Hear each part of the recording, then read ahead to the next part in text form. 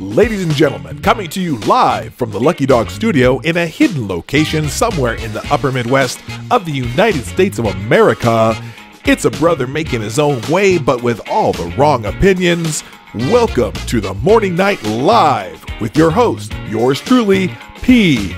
Dawg Knight.